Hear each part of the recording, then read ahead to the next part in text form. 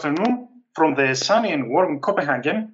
Welcome to the webinar Energy Mapping and Data Collection to Identify Long-Term Opportunities for District Energy System, hosted by the Copenhagen Center on Energy Efficiency. My name is Aris. I'm working as a program officer at the Copenhagen Center, and I will be the moderator for today's event. A couple of things before we move to the main content of our webinar. This webinar is going to be uh, about 60 minutes long, including time for, uh, for questions at the end. In case you cannot stay until the end or you want to get back to our presentations, all the materials and the recordings of the whole webinar will be available online in a few days on the Copenhagen Center's Knowledge Management System. And we have many other webinars and information there. Have a look. I'll give more information in a few minutes.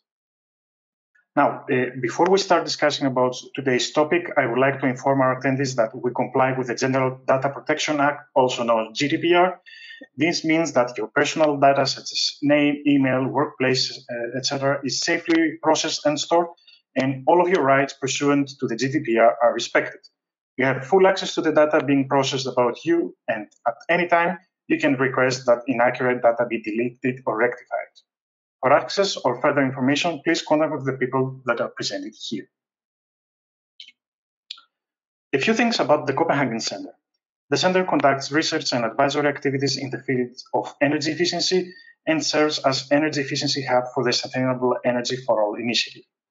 The center has an established network of global, regional, and national partners with a broad range of stakeholders to help accelerate the implementation of energy efficiency activities. On regular basis, the Copenhagen is conducting webinars. All materials, including recordings and presentations from previous webinars, can be found on Copenhagen Center's Knowledge Management System under the e-learning section. The material of today's webinar will be uploaded shortly, but until then, you can check one of the previous recommended webinars that are related to today's topic. Now, I would like to briefly introduce the speakers of today's webinar. Clara is working as postdoctoral researcher at the Copenhagen Center on Energy Efficiency, and she specialized in the climate conscious transformation of the building sector. And Lukas is working as a senior scientist and team leader at the Energy Economics Group at Vienna University of Technology. He has more than 20 years experience in research on future perspective of sustainable energy systems with a focus on heating and cooling, energy mapping and planning, scenario development, and analysis of policy instruments. Finally, I would like to inform that you can send us your question during the presentations using the dedicate icon, and we will do our best to answer as many as we can at the end. Please do not forget to mention the name of the speaker that the question is for. And now I would like to give the floor to Clara. Thank you, Aris, and welcome everybody. Thank you all for joining as was uh, briefly introduced by my colleague Aris, my name is Clara Camarasa and I will be guiding you through the first introductory session of this webinar. But before we delve into the content, I would like to share some context of the program this webinar has been forged in. The webinar today has been developed within the Global District Energy in Cities initiative. This is a private public partnership co hosted by the United Nations Environment Programme and UNEP DTU partnership, particularly the Copenhagen Center on Energy Efficiency that was just presented, with the mission of helping cities tackle the energy transition through the use of district energy systems. The initiative supports local and national governments in the identification of pilot projects and the development of local and national strategies to accelerate the deployment of district energy systems. It currently has over 60 partners, including private sector, research institutes, development banks, and other public entities, actively working in over 30 cities across 14 countries all over the world. And what do we do exactly? Well, we focus on four main aspects. We increase the knowledge and awareness of multiple benefits of, district energy through a number of capacity building activities. We provide technical assistance, identifying pilot projects, undertaking rapid assessment and pre-feasibility feasibility studies, selecting most suitable business models. We support also in the tender process and develop long-term local district energy strategies. And we also support scaling up efforts, mainly at two levels. At a local level, through the establishment of local multi stakeholder coordination units, and at a national level by assisting in the development of national frameworks that support project development. Last but not least, we help to unlock investments by supporting the identification on financial of financial mechanisms by aiding the project financial stability, mostly focusing on pioneer projects in each of the specific markets we're working on. I would also like to stress that this webinar is part of the training modules offered by the District Energy and Cities Initiative within the GF6, which soon will be available uh, in the Copenhagen Center on energy efficiency, C2E2 website. The content covers six key aspects of district energy development, from fundamentals of distributed energy systems or district energy systems to business models, financing options, and procurement of sound sustainable projects. The content of today's webinar complements the information that can be found in Module 3 of this training, which is again energy mapping and data collection to identify long-term opportunities in district energy systems. Now let's delve into the content. Uh, and to this end, let's start by defining energy mapping. Energy mapping refers to the visual representation of energy and material flow distribution along the system related to its geographical location. Energy mapping processes basically tackle or, or identify local conditions such as sources of excess heat, renewable heat, or cool assets, as well as concentrations of heat and cooling demand. Energy maps, as um, will be presented in the examples from uh, Lukas later on, can contain, among other variables, data on existing and projected energy consumption from an understanding of the load profile in each case, present and future building density and type, sources of surplus of industrial heat supply, large energy consumers and buildings with potential of excess heating and cooling capacity, and linked to this, of course, potential anchor loads and their energy consumption. Energy maps can also provide an overview of the current and potential network groups. Now, why is energy mapping so important in the development of district energy systems?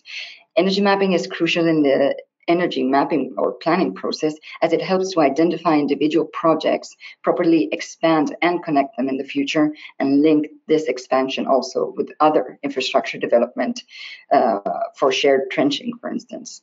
It also allows networks to maximize waste heat recovery and target high energy density areas, leading to more cost effective solid systems. Furthermore, it allows zones to be selected where the city can apply its land use authority and tailor specific incentives or initiatives to it. Energy mapping can also reveal physical barriers and opportunities linked to the location, such as local energy sources, distributions, transport, even land use, deployment of density, etc. It can also highlight potential savings to optimize the use of available resources with this. Now, from an energy system perspective in this way, energy mapping enhances the comprehension of locations, distances, and capacities to match heating and cooling demand and better calculate its distribution costs. Energy mapping, therefore, is crucial in the development of long term strategies at a local and national level and identifying also potential pilot projects in the case that there's not an existing um, yeah, district energy in the place. It also shows the opportunities for interconnection of system networks as well as retrofit needs. As Lukas will explain later, from a supply and demand side, energy mapping can also contribute to the security of supply due to energy diversification, but also cost reduction as well as help in the development of and, and also rehabilitation plans, identifying any anomaly or illogical data uh, from static to dynamic uh, needs, but also data supply, but also along with it, planning for the development and reconstruction of the pipelines in line with the changing energy needs. So it's also a very dynamic exercise in this case. From a process perspective, energy mapping offers an easy way to present otherwise very complex and abstract data to different audiences, keeping non technical stakeholders on board um, and enabling stakeholder discussions and open debate. it becomes a very useful tool in stakeholder engagement and public awareness as it showcases the system potential and complexities through a universal language, which is visuals. Now, I just mentioned some of the overarching needs of energy mapping and also its potentials, but in district energy uh, development, when zooming in into the different district energy project types, there might be some more specific reasons to undertake energy mapping for each of the type of projects. In new district energy projects, for instance, where the market share of uh, this technology or this solution is low or even inexistent, energy mapping can be used to demonstrate the potential of district energy networks and um, also justify the cost associated with carrying out the project. It could also help identify startup networks or demonstrator uh, projects that it has been the, the case based on our experience, along to boost the confidence in the project and secure private sector investment. When it comes to um, district energy consolidation projects with high market share in distribution energy systems, energy mapping can maximize the identification and connection of waste heat sources and recognize the potential distributed renewable production and potential for integration of district cooling and, and, and district heating network, just to mention some in refurbishment networks, energy mapping can help to identify potential interconnections and transmission lines, as I mentioned earlier, as well as to understand losses in the network. For instance, it can help to identify potential waste heat sources that could be connected into, into the system or network. And last but not least, in expansion networks, energy mapping can help to identify interconnection and pooling of networks, establish renewable energy sources of heat, and again, of course, help to attract uh, investment. Now, coming up to the types or level of granularity of the various energy mapping exercise, and again, it will be Lukas which uh, who will showcase this in a much more uh, concrete uh, manner through the different examples. But also we have uh, this uh, energy mapping has to do with the different phases of the district energy system uh, project uh, it is embedded in, each of them with a specific set of data requirements. So, for instance, in an initial phase, an initial mapping will be required to understand the overall city needs, framework conditions, and urban plans. The further we move into the process with the in depth assessment, a mapping for detail, a mapping for feasibility will be required. Now, what do each of these three mappings mean? And let me please clarify before I do that uh, these are just very broad classifications. Many more details would be needed to comprehensively uh, characterize each of them. The said initial mapping can be performed at a national, regional, and city level. The objective is to give direction where efforts need to be focused in, develop, in the development of the district energy systems. Resources such as time, funding, and data requirement to perform this initial mapping are the lowest uh, of the, these three type of mappings. Moving forward, we have the mapping for detail and mapping for feasibility. Both are carried out on a local and district scale, so, so basically zooming in uh, a little bit more. However, the requirement on time and data is higher um, in both of them, especially in the mapping for feasibility.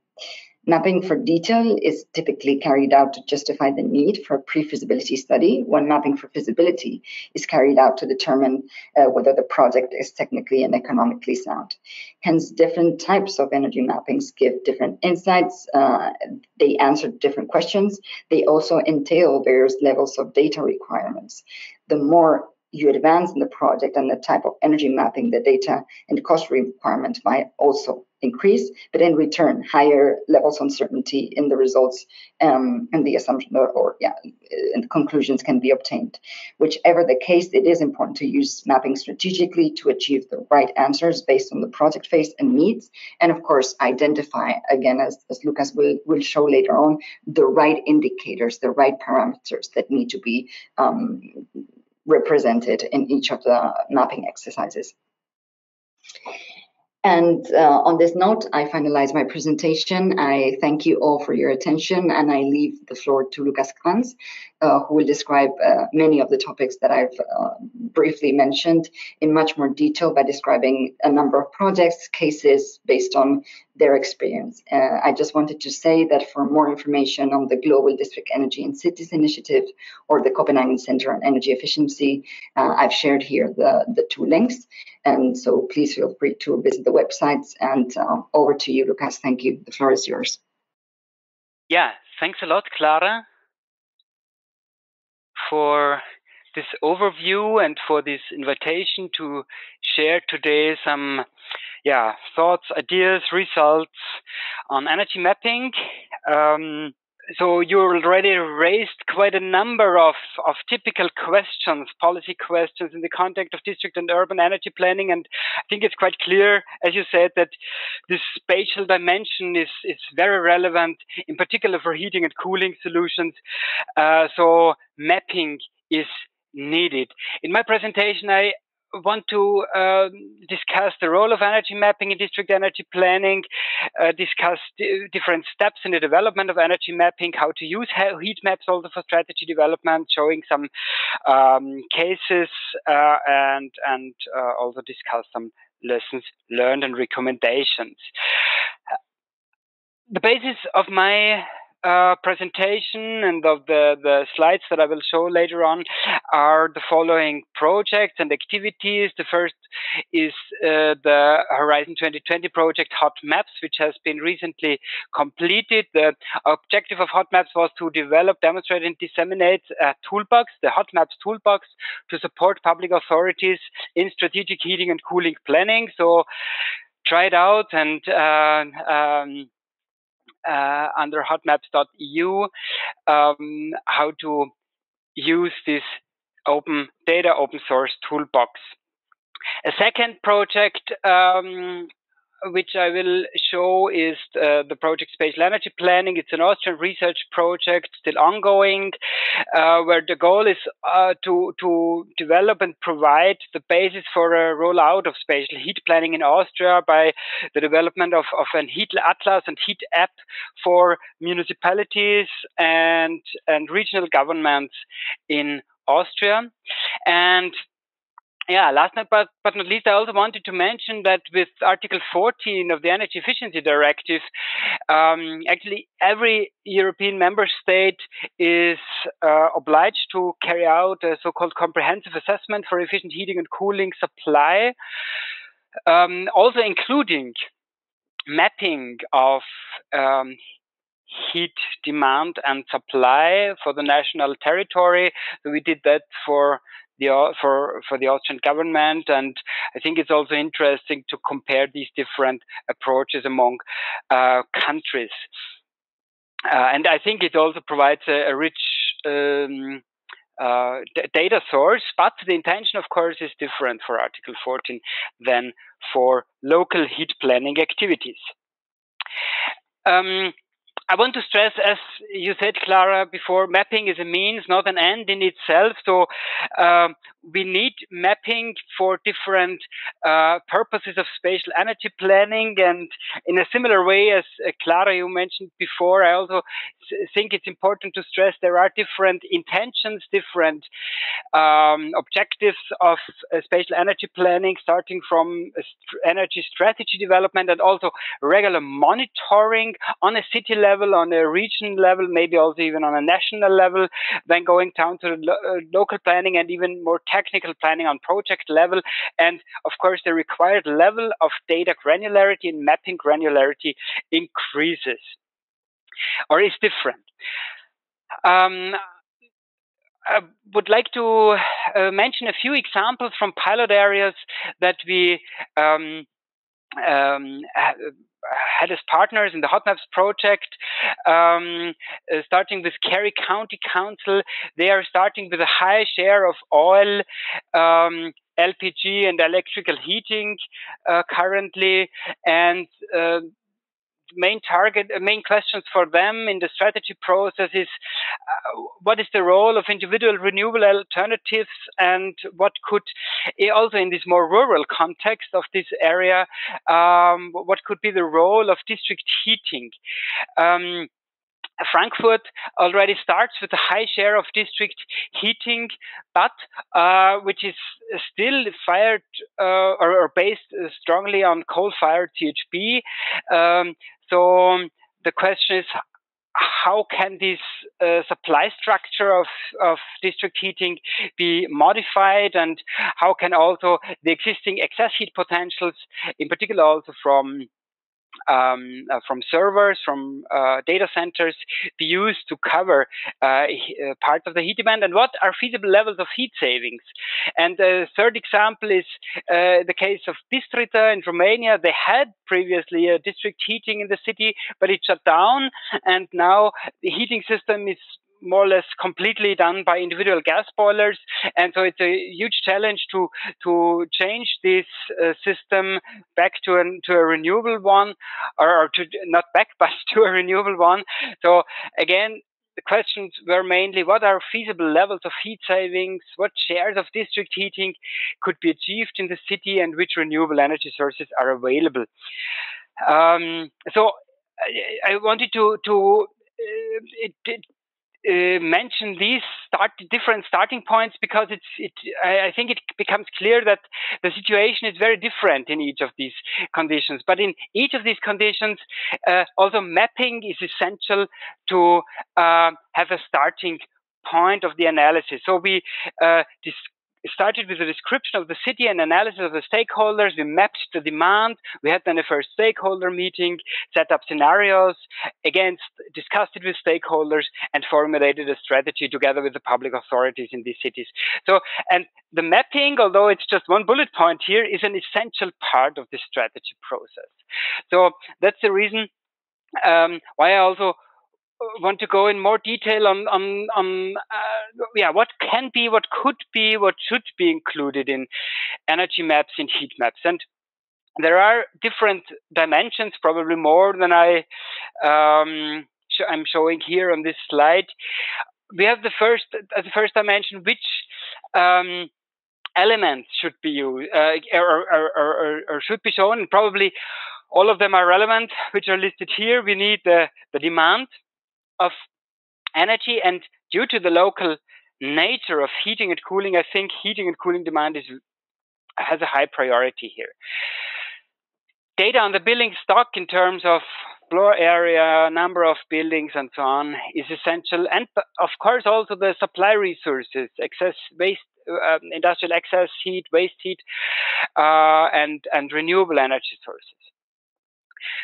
Then we have the dimension, the time dimension. Of course, we need the mapping for the status quo, but we also need the mapping for the future development. We want to use the maps for future for strategy development, which will um, have an impact in the future. So we also need to assess possible developments, in particular regarding energy demand in the future, um, to take into considerations these possible developments. Third dimension is the level of granularity and uh, we have different options. We can we can have a more statistical based, high level um, uh, approach, which is cheaper, also more easy to obtain, or a bottom up approach uh, with a higher granularity on building level, uh, better validated data.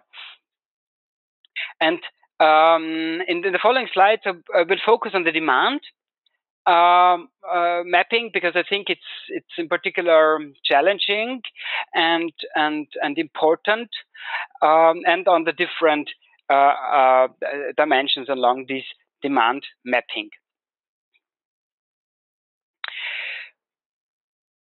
Demand mapping, heat mapping can be done with different approaches.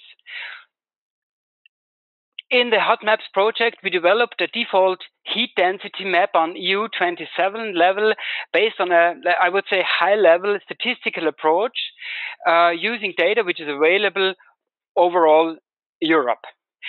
And of course, um, and I will show these afterwards, um, when uh, doing calculations on the local level, it's it's interesting to see okay how how valid are these high level um, um, maps and do they need refinement with local building stock data and, and, and how could this refinement look like?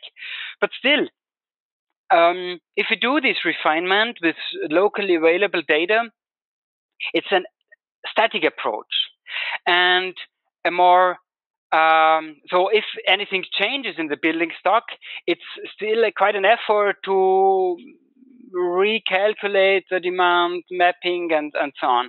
So in the spatial energy planning project that I mentioned before, an optimized uh, approach was uh, developed to integrate up-to-date data, in particular also building stock data and other um, background data to generate, uh, let's say, on-demand um, um, uh, heat maps.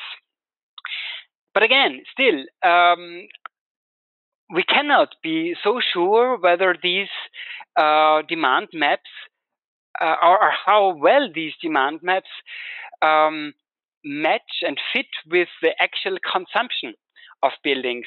So for this, we need basically um, data from utilities on building level or at least building block level.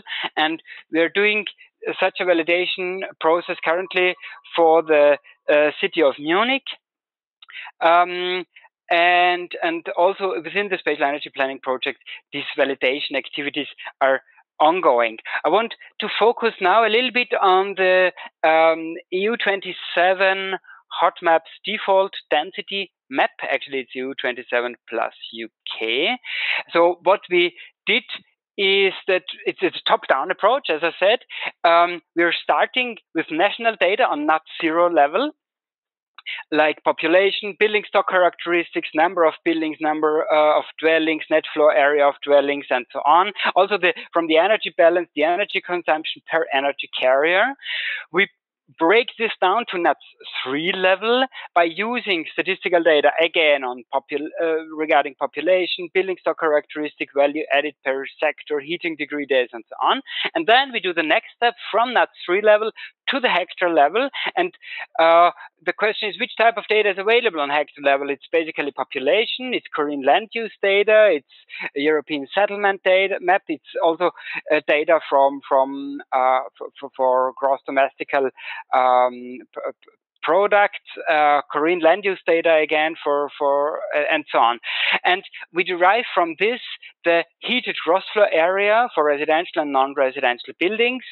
And together with um, the, the average useful energy demand indicators derived basically by uh, yeah, heating and cooling degree, days, uh, share per construction period, so the, per the vin vintage class, and the surface to volume ratio, the heat density map showing heated gross floor area and useful energy demand on hectare level. And so, of course, there are a lot of open questions and uncertainties also linked to this process. And I want to highlight a few of them, starting with the building volume. The building height is is uh, turned out to be challenging to to uh, to model. Uh, and how we did it was we, we estimated a relationship between the average number of floors and the building footprint. Print. And this is here shown for 150 randomly chosen municipalities across Europe. And um, the red line is what we finally um, applied in the model, and we see that uh, we are underestimating and overestimating the number of floors in different cities uh, and under different uh, conditions diff for different building footprints. Um, so this is already a, a, a, um, a, reason for uncertainties, but in average it um, doesn't sit so, so bad. We will see later. Uh, we also use OpenStreetMap data, but it turns out that at least for some cities, like uh, for Athens, for example, as shown on the left-hand side, the uh, the yellow part, the the OpenStreetMap data, doesn't cover the whole settlement area uh, based on the European settlement map. Um, so we consider different sources and and and merge them, so to say, to get the best out of each of these data sources. I mentioned that the useful energy indicator is also based on the vintage class on the construction period, and this is done based on the soil sealing data. Um, the Global Human Settlement Project provides soil sealing data for different periods, so starting before 1975, then 75 to 1990, and so on. And so, uh, from this soil sealing data, we get an estimation which um, share of buildings already existed before and afterwards. Uh, although, of course, we also here have some uncertainties because buildings might have been already demol demolished and newly constructed and so on. But again, it's an indication at least. And the results you can see um, uh, and also download as open data from the HotMaps uh, platform. Uh, you can select any area within the EU 28 or 27 plus UK and um, have a look at the at the heat density map and then also calculate total heat demand and the heat densities for a certain area. But of course, the question is now, how well does it really fit? It's a statistical top-down approach, and we can expect it will not be perfect for each and every location in Europe. So we uh, compared the data with customized heat density, heat demand layers, which we developed in particular for the three cases of Bistrița, Frankfurt, and San Sebastian, but then also for a number of other cities um, uh, across Europe. And for these three, at least for these three uh, um, cities, we received shape files of all buildings in the city, uh, together with other data sources like type of the building, gross floor area, age. Um, in San Sebastian, for example, we had more detailed information for non-residential buildings and so on.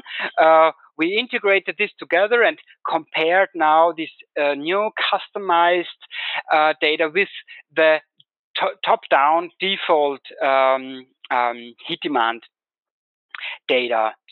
And uh, this figure shows now the ratio of the default data to the to this reference source, how we how we called it. So this customized uh, source, and um, of course there are also data uncertainties in this customized um, uh, data. So we do not eh, necessarily know how accurate these uh, customized, uh, more individual data is, but yeah, at least we have we have a comparison, a, a, a possibility for comparison for the indicators population, uh, gross floor area total, gross floor area residential, heat demand, and um, we see that for population it fits quite well. For most of the uh, cities, the deviation is below um, plus minus 10%.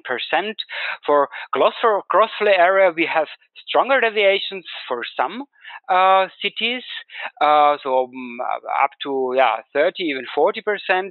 But most uh, of the cities are again in this range of plus minus 10%, and the same is true for the heat demand.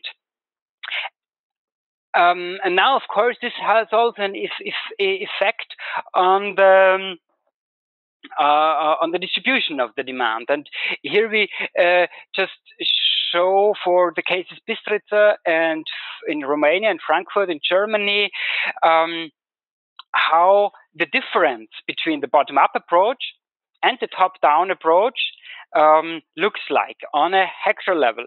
And it's interesting to say, see that in Bistrița, the um, top-down approach um, overestimates gross floor area and heat demand in the city center, whereas in Frankfurt it's the other way around. Here we underestimate somehow the um, gross floor area in the and heat demand in the city center, and at least for Frankfurt, it's quite clear.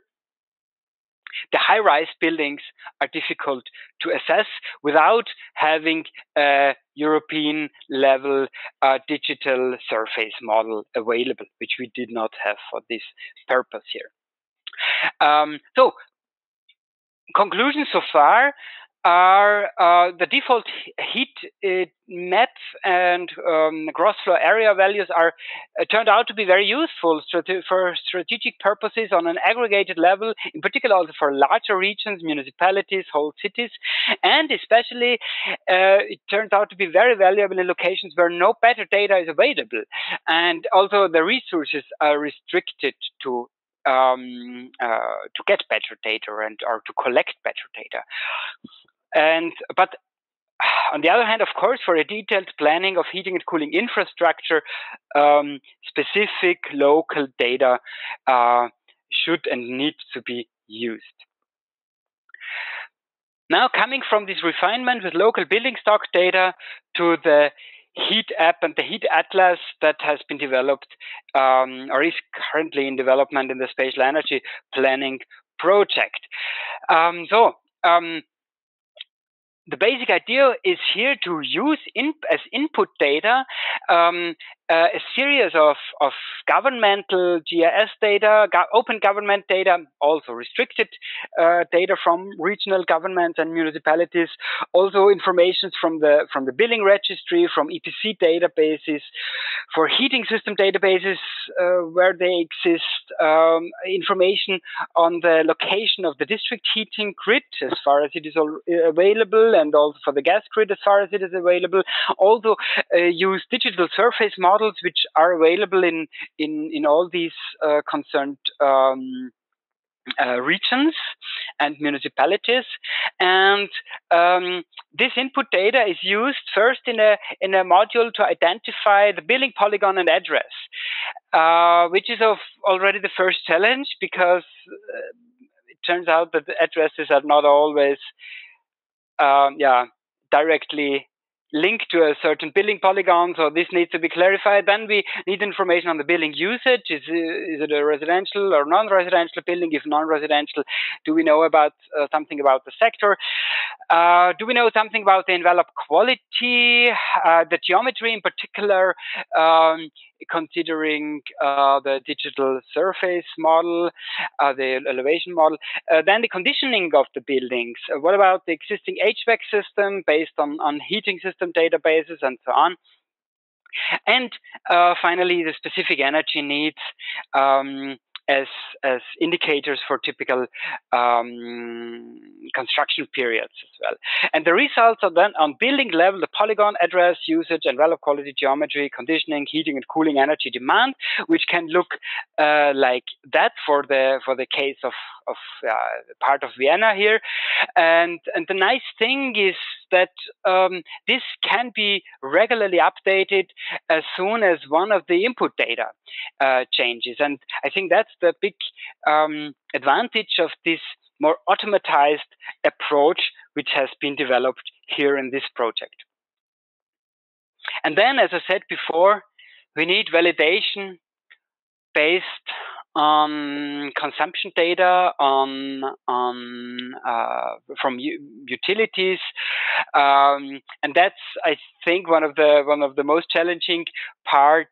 Uh, in particular, uh, what what I can see from a recent project that we are doing now, or an ongoing project for for um, utility from Munich, for district heating company in Munich, is that uh, yeah they, they have very good data on, on for, for consumption, but uh, not so perfect data for the building stock, and so there are considerable uncertainties regarding the the height of the buildings and so on, and but uh, if if we manage to get these uh, this, for example, this height of buildings right, then we can also uh, be quite accurate with our demand projections and match, match them with the consumption levels. Coming back to what I said before, mapping is a means, not an end in itself, and that's a reason why I also want to show how um, we in, in the in the HotMaps project uh, combine or, or build on the on the customized heat and floor area density maps um, and also apply a, a, a, different other calculation modules, for example, a calculation module for the demand projection to develop future heat and floor area density maps up to 2050 and use these future heat density maps calculate potential uh, economic district heating potentials and also calculate um, how this district heating um, could be uh, supplied on an hourly basis, considering different load profiles and also supply profiles, compare then the cost of district heating with the decentral options, and come up with an overall scenario assessment on regarding costs and emissions for the overall city. Um, and and uh, yeah, before coming to an end, uh, here an example how this looked like for the case of Frankfurt. Uh, here we developed, uh, uh, as I mentioned before, current and possible future heat maps with uh, 35, 46, and 53 percent of savings in the by the year 2050.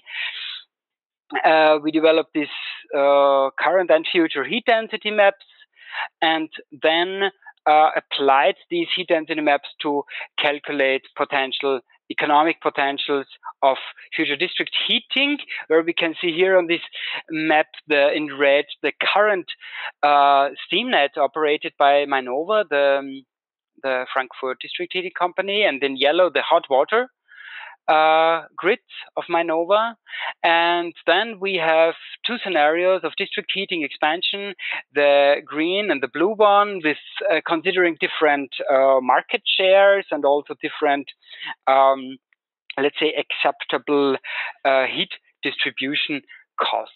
And then we said, okay, how could this supply both individually and and uh, for the district heating grid be supplied, and how does it compare in terms of costs? Um, so, summing up, coming to my conclusions. When doing energy mapping, there are key uncertainties for high level approaches, I see these key uncertainties in building height. I expect that it, or hope that maybe not so far in the future, we will have also uh, better uh, digital surface and uh, digital elevation models available, helping here. But currently, I still see these as a challenge. Also, number of floors, in particular for large non-residential buildings, and then. Um, high, high challenge, the specific energy needs to be applied for different building types. We don't know usually the insulation level of buildings. Uh, we definitely don't know anything about user behavior, often even not about the usage and the mixed usage of buildings. And we don't know, or often we don't know um, uh, sufficiently uh, valid on uh, so which HVAC system, so uh, how the conditioning of the systems of the buildings uh, work. In particular, also the age of the systems, the efficiencies, and so on. So we need to link existing data sources, for example, from chimney sweepers, utilities, um, different public authorities, EPC databases, building registries, heating system databases, and I think it will become also more and more relevant to ask for a mandatory data provision from certain actors to the public authorities. And I think also the cooperation of utilities and public authorities is important because each of them has specific information which the other does, does not have usually. Um, I see a certain trade off between the required resources to set up the consistent building stock model and the related heat map on the one hand, and the uncertainties related with an available default heat density map on the other hand. Um, and the suitable approach depends on available data and the concrete policy aim questions and needs. On this slide, I put some sources. You can have a look on them later, I guess. And yeah, with that, thanks you for your attention. Thank you very much, Lukas, for the very detailed uh, presentation. Now uh, it's time for the Q&A session. So I would like from uh, our speakers to activate the web camera so the attendees will be able to see us and to see who are be behind that event. Uh, we received several questions, and uh, Lukas, I'll start with you. The first question is, what is the minimum data that is required to conduct energy mapping?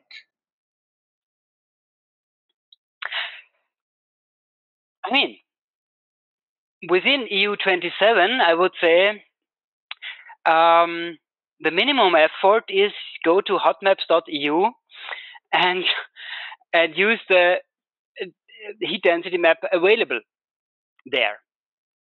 This is very low effort. And this is also the intention to provide uh, a first default data set for municipalities, for public authorities who do not have yeah, better data available or, or the resources for better data. Uh, but uh, let's say also outside Europe, or, uh, or, or if you want to go a little bit in in more detail, I think what is essential to have. Um, let's say the some information on the building stock data on, on, the building stock, uh, and this could be in form of of uh, shape files of the polygons, and then information on the um, type of building, usage of building, vintage class of buildings, and then of course also as a calibration local energy balances. I would maybe add to that, uh, if I may, Lukas, uh, the different um, HVAC systems, maybe of the yeah, of the different buildings. I guess it depends also whether you want to do the mapping for useful energy demand or final energy demand. Yeah, but of course, yeah, the the aim is also to go towards final energy demand, and then you will need to the HVAC systems as well, which, uh, to my experience, is very hard to get, and and only so not not so many public authorities have access to it. Uh, thank you very much. The next question is. Uh uh, one of the attendees is saying, Thank you for sharing the hot map project. It is really interesting. And then he says, As I can see, there are a lot of comparison and studies on heating side. What about the cooling or combined heating and cooling? Can they have similar accuracy for mapping by following the same steps? Yeah, thanks a lot. So uh, indeed, we focused strongly on heating, but we also did some some studies on cooling and we, in particular, we, we developed a concept of how this could also be extended or, or applied to district cooling um, estimations, um, potential estimations. And the key challenge, so in principle, yes, can be done. And, and you can find also on hot maps cooling uh, density maps. But the challenge is that um, in particular on the on the on the spatial level, we don't know which part of this theoretical useful cooling energy demand is actually covered. Um, there, we know that in particular, let's say Central Europe and Northern Europe, more or less the whole heat demand is covered, but cooling demand is usually not covered. At, least, so, so a large part of the cooling demand are simply not covered. It's simply becoming hot inside the buildings, and so that's a key source of uncertainty in this context. I would say. Thank you very much for the response. Uh, the next question is uh, for you, Lukas. Uh, what is the number of person hours and total cost to prepare a heat map for a typical European city using your method? So again, if you if you are satisfied with the accuracy of the hot maps data of the hot maps heat density map, map the the costs are extremely low. Yeah, five minutes. Not exaggerating. Five minutes. Go to go to the website. Have type in the, your your city. But then, of course, things start. Yeah, because you may recognize that in some areas or, or in some part of your city you're not satisfied. And maybe with a for for a certain more strategic um, um, question and, and and policy case it's still sufficient. But but I expect that if you start uh, thinking about in more more detail about yeah what could be district heating zoning and so on then it starts to become a higher effort and um, I can it, it's I, I, cannot really give you an, an an answer to that because it's so it depends so much on this level of accuracy to which you want to go or even level of automation you in in to which you want to go and yeah And data availability, I would say. And, and, thanks. And data availability, of course. So if you already have a lot of data available, for example, um, building digital building surface models, yeah, usage of buildings and so on, it's so much easier. Uh, he uh, then uh, the attendee want to clarify. Uh, he's asking, what is your cost to prepare this? no, I mean, yeah, we, we, would be happy to discuss this in in in, in, in a bilateral basis. It also it, it strongly depends on the size of the of the municipality and um, and um, but I mean, in the uh, just to give you an impression for the for I mean for for the HotMaps pilot areas, it was a development process. Yeah, we developed the tool and in parallel did, did the strategy process. But we but we we, we used we would say several person months to to do this for the for each of the the, the pilot areas, um, which is of course which can of course be reduced. Um, uh, now that a larger part of the, of the methodology is established. Okay. Uh, the next question that I can see here is says, if you could pick one indicator or data point that could be collected in a systematic manner globally uh, to support energy mapping, which one would it be? So, um, I mean, also the, the question of what, what I think would be feasible. Yeah? So, for example, um, I would find it extremely interesting and important to know more about installed heating systems. Yeah? But I don't think that's that's somehow feasible. Yeah. So I think already, I think a high step forward would be, and and maybe quite concretely achievable would be the the more relevant, uh, so, so more accurate data on the geometries, in particular building height on height. Yeah. Yeah. I, I, I, wanted to say, Lukas, that as it was phrased, or as I it came across to me at least, it sounded like a wish list. Um, so I think you can choose both in that case, um, the installed systems and, and the height. Yeah, I, I would agree with that. And then, of course, that, that's, I mean, also, also consumption. No? But uh, that's, yeah, that's, that's, that's also a data privacy issue and and so on. Uh, yeah, that would be on the wish list um, uh, part of it, right? If it would be, we don't have to take into consideration like uh, what's feasible, what's not.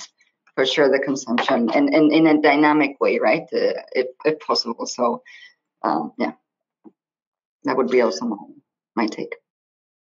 Thank you very much. The next question, uh, I think Lukas is for you, Ian, because the attendee is mentioning the, the Frankfurt example. And the question says, for the scenarios 2050, did you take uh, climate change into account? Less heating needs, increased cooling needs? Yes, yes. So we, we considered climate change. Um, I, I, mean, of course, um, what what does it mean to consider climate change? There are so many uncertainties, but we we applied one scenario, um, a standard reference scenario of um, climate change and the change of heating degree days. In this specific case of Frankfurt, we did not consider cooling, but could of course also be done and should be done. And uh, we have another question, which it's a clarification question. Uh, the question says, which unit is NUTS 0 and NUTS 3? Ah, okay. This is NUTS level. Um, NUTS. It's the um, it's a way how on at least in in in Europe, uh, different geographical levels are classified. So NUTS zero is a national level and then that's down to NUTS 2 and 3. It breaks down into smaller regions um, and, and, smaller ge geographical units, which can represent, but not, do not always represent, also um, political um, areas and their boundaries.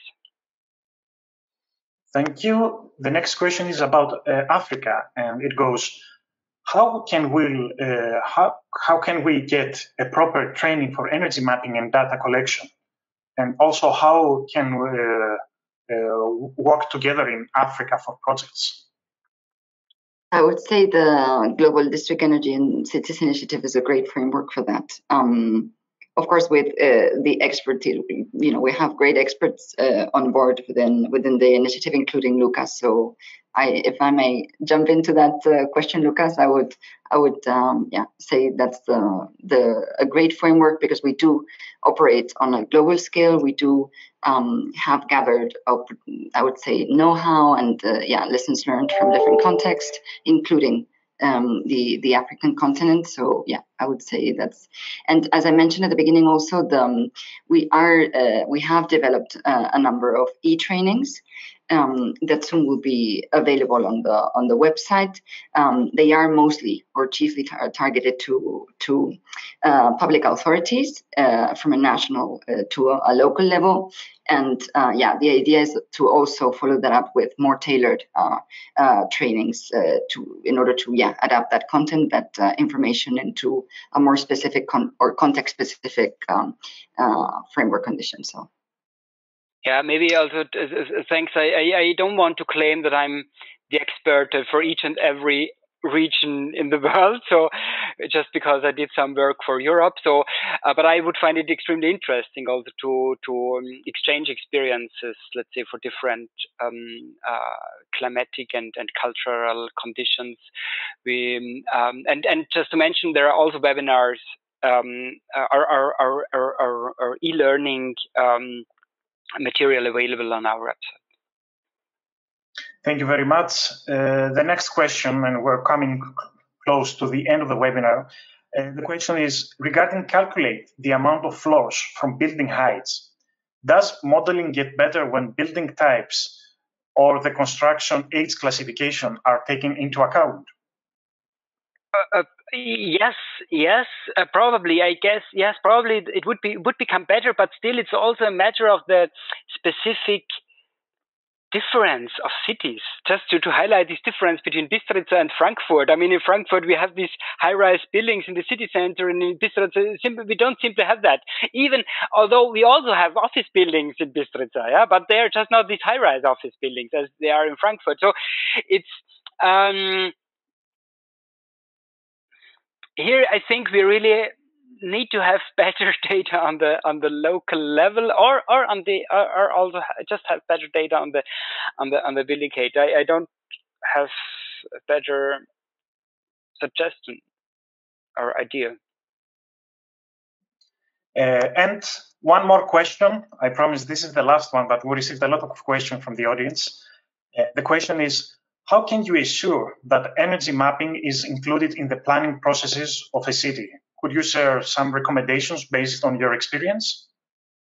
I mean, I just I just noticed that energy mapping becomes more and more, let's say, common, and uh, also is is seen more and more as a requirement of proper energy planning. And I also see that there are regions like Baden-Württemberg, for example, in Germany, who now in a mandatory way ask their municipalities to do energy planning and energy mapping, and they also have developed a guideline how to do it. So I have the feeling that it's becoming more and more, at least in in parts of Europe, in Europe, um, more and more relevant um, and more and more practice and I think it's also up to the to the to the regions and maybe uh, national governments to support this process and even make it mandatory. So, thank you for the detailed responses to the questions, both of you. Uh, Clara, do you want to add something?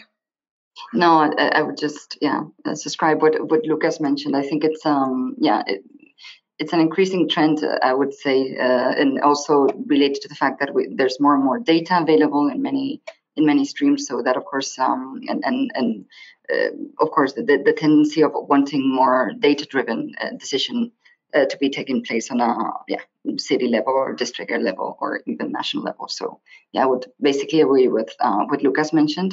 I just wanted to say, Lukas, because I've seen there's been a lot of questions. Um, just to highlight that uh, we will collect them, uh, the remaining questions, and, and attend them uh, after the webinar, of course, because we, yeah, we don't have time at the moment to attend all of the different questions, but we will. Um, that's the intention. So, ladies and gentlemen, finally, we come to the end of the webinar. I would like to say thanks to the panelists for the informative and uh, very interesting presentations and to the audience for their active participation. We hope that the presentations uh, will be beneficial for all stakeholders involved in energy efficiency and uh, district energy. So thank you for your attention and I wish you a good day or night from Copenhagen.